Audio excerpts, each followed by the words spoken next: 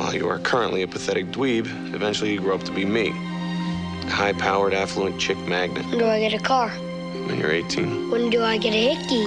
Maybe he's here for you to teach him some things. But maybe he's here for you to remember some things. You go down after only one punch, thereby solidifying your reputation as a loser for the next eight years, all the way through high school. Disney's The Kid, playing this month on the Movie Network.